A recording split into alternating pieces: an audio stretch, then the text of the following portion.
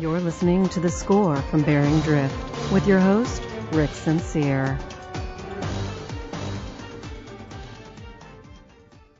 Welcome back to The Score from Bearing Drift. I'm your host, Rick Sincere. This week we pick up where we left off last week with our conversation with two Young Voices contributors, Sam Peak and Rachel Tripp. We had a wide-ranging chat about immigration policy, tariffs, and President Trump's visit to Europe, among other things. Let's listen.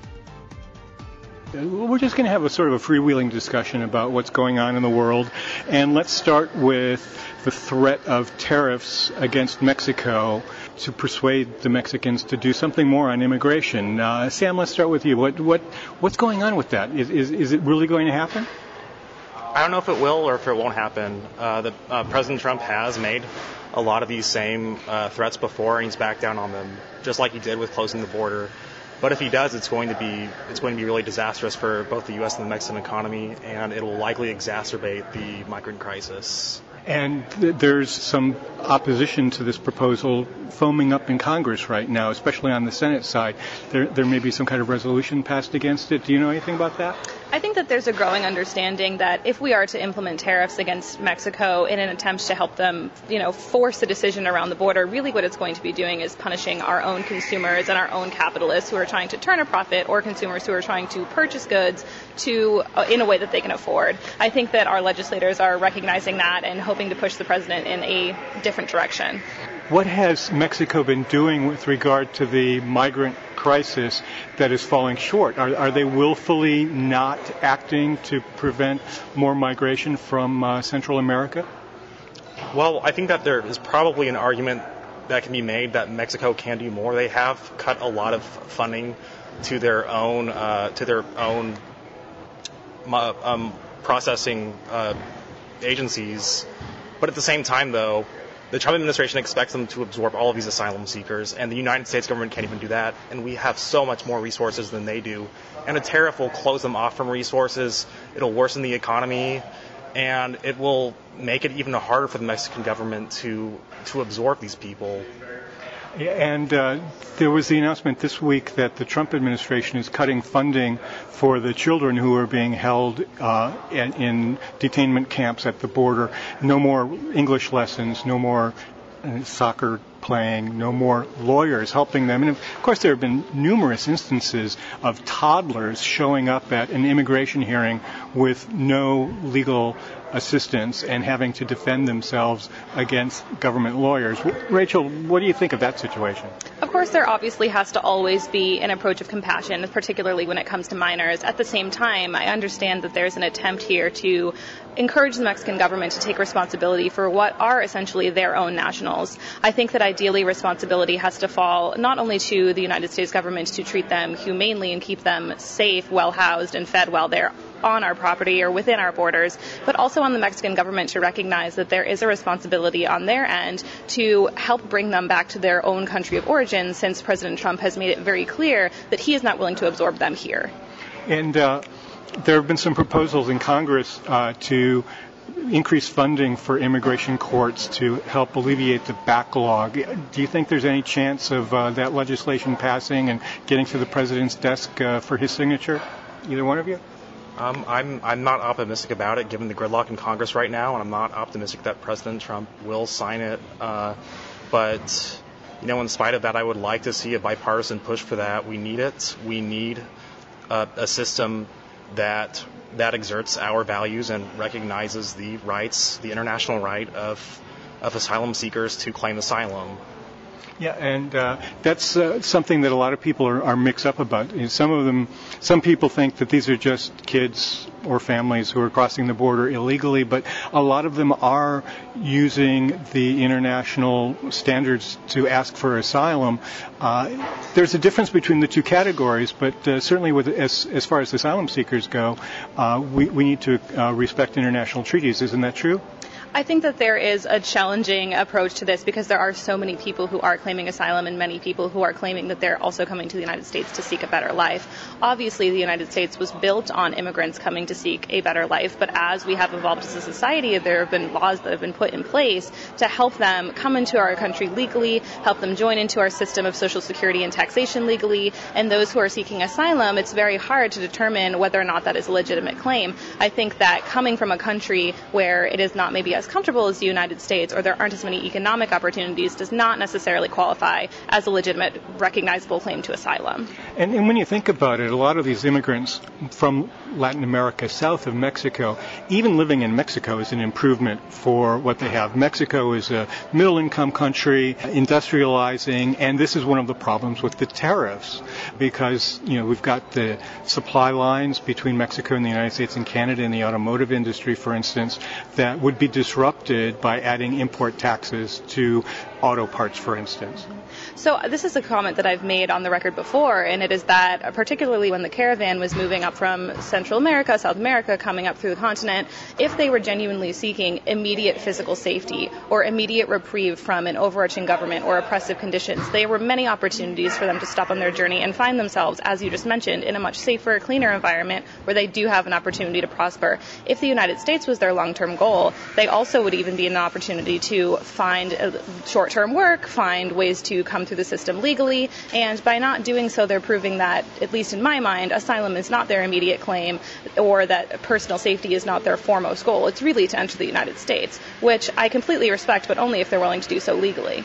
And if I understand the way asylum is supposed to work in the international system, uh, a refugee is supposed to ask for asylum in the first country that they reach in which they can find safety. Is that right, Sam? Uh, so if you have say, uh, um, a safer country agreement with um, with the country, and we do not have that with Mexico because Mexico has not demonstrated that uh, that they're not going to comply with the international law of non-refoulement, which means that you turn people away without processing their asylum claim first. Uh, we don't have agreement with them, and so that's why they are able to legally claim asylum in the United States. Uh, back to the point about people who are crossing between ports of uh, entry illegally you can see that the Trump administration has exacerbated that uh, quite a bit. Uh, you have the the um, the union chief of, uh, of border patrols claim as such, and you have uh, government you you have um, DHS interviews with people uh, with border patrol agents claiming as such too. It's the it's metering where you uh, where you block where where he's blocking people unnecessarily from from entering through the ports legally and what they're doing is they'll re, they'll re-enter three times or four times, and then they'll cross through in between ports, and then uh, they get prosecuted uh, as entering illegally. Is the Trump administration policy of threatening tariffs a way of pushing Mexico to honor some of these international agreements that already exist, but they're not participating in, to get uh, a treaty between the United States and Mexico uh, dealing with these issues? I know the Mexican foreign minister was in Washington, uh, I think today, talking to Vice President Pence. Is this something that's on their uh, uh, talking points? I'm not sure. I know that the, the problem with this is that if you're going to negotiate something, you have to make sure that you're willing to go through with that. And Trump has even proposed uh, extending the tariff to 25% uh, um, within the course of time. Yeah, I think October 1st would be the, the yeah. deadline for raising yeah. it to 25%. And, and, and, and, the United States economy, especially in Rust Belt areas like Michigan, which 10% of their um, their imports rely on Mexican goods, uh, it's it's uh, it's going to devastate a lot of those areas. It's almost as if uh, President Trump is trying to scuttle NAFTA 2.0, the USMCA. Do, do you think he, he has something nefarious in mind? I think that President Trump is someone who prides himself on his ability to act as a businessman, make deals that he believes are profitable, and I think in this instance, make deals that are going to be beneficial in his mind to the United States. I think that he does have the good of the country in mind, not necessarily uh, some underhanded or nefarious agenda, but I do think, again, that the approach to tariffs or trying to force an agreement through tariffs, while also maybe having some of those diplomatic meetings, like you just mentioned, with Vice President Pence or whoever else, uh, is not necessarily the best way to move forward since it's not really helping the immigrants in question or the American people. Let's uh, segue a bit. Uh, President Trump is on a diplomatic mission right now. He's overseas for the D-Day ceremonies at a state banquet with Queen Elizabeth in, in London. How, how do you assess uh, his, his visit to the UK, Ireland, and France? So, considering uh, going off of our discussion of diplomacy here, I think that any opportunity for us to have a positive and friendly interaction with our allies is always a good idea, always a positive move for international relations and diplomacy for the United States. Obviously, the great, the United Kingdom, Great Britain, and the United States have always had that special relationship, and I like to see this administration furthering that with the Queen, who obviously has also had her own opportunity to further that relationship with many presidents in the past. From what I've seen, this has been an overall very positive visit for both the United States and the UK, although obviously there have been the typical protests that we would expect uh, when a foreign leader visits any country. Uh, just as an aside, uh, Queen Elizabeth is 93 years old. I've never seen a more vigorous nonagenarian. I mean, she, when she speaks, she speaks with authority and grace, and uh, it, it's amazing. You, she's dealt with every president of the United States since Truman uh, longer than most of us can ever even hope to live. There, there was another question I wanted to ask. There, there seems to be uh, some uh, confusion about U.S. policy towards Libya right now, and you know something about that. What can you tell us? So I think when it comes to the way that we treat our allies internationally, again, as I just mentioned, it's always very important that we maintain as many diplomatic relations as possible, but we have to put the safety of our own American people first. With the civil war that's happening in Libya, Libya, obviously it's awful to see the violence that citizens are dealing with, civilians are dealing with a very challenging uh, coup essentially on a regime that for a long time has been in power. And when we consider whether or not the United States should interact with that war, should get involved, I really really think that it's it's their civil war, it's their it's their problem to deal with essentially, and I would not like to see our own American troops being sent over into a situation of violence and danger when really the Libyan regime and the Libyan system of governance is not a threat to us as it stands, or with the potential. Uh, gaining of power of this new regime as well.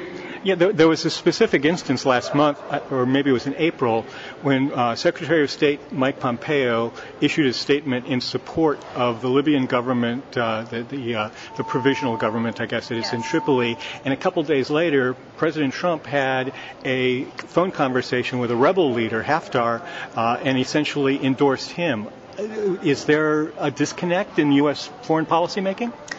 I think that there has been uh, several instances where Pompeo and President Trump may have viewed international relations or issues of foreign affairs differently. I think that we've seen that with the recent potential conflict in Iran as well, where Pompeo is much more willing to involve American troops in that conflict in Iran. And President Trump, I think, has said on the record many times that he wants to have a new approach to the Middle East that does not mirror the one that we've had in the past, which has been very interventionist, uh, very hawkish. And I don't believe that President Trump wants to further that tradition of involving our troops in conflicts that are not necessarily a threat to the to the United States, a threat to our economy, and certainly not worth endangering our own uh, servicemen and women. Just to wrap things up, we've been talking about immigration, we've been talking about tariffs, foreign policy in general, but on the immigration issue, I'd like to get each of you to assess whether there will be some kind of I won't call it comprehensive, but significant legislation dealing with immigration issues between now and the election in uh, November 2020.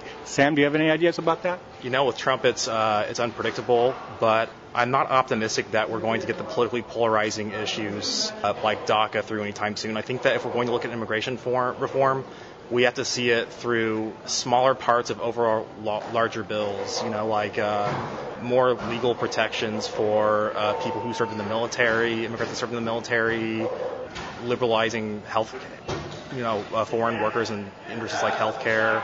Uh, but I don't see an actual immigration reform bill actually passing. And Rachel, what do you think?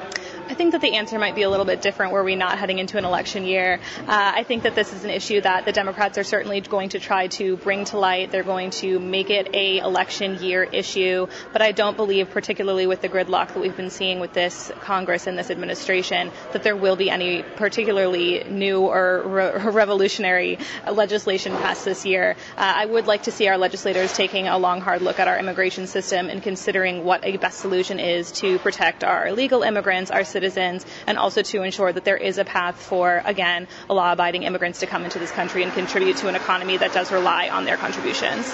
Young Voices is a great organization, and I'm glad that you're participating in it. Are, either of you working on articles that may be published in the next couple uh, weeks, regardless of what the topic is? I feel like I'm always working on something. Uh, uh, I've been following the Democratic 2020 candidates, and as uh, as the news unfolds, so does my writing. Recently published on uh, Mayor De Blasio's candidacy announcement in New York City. Uh, as an East Coaster, I'll be following all of the news from all of the candidates that are coming from the Northeast region, and I will be sure to keep you updated as that goes on. And Sam, do you have anything coming up?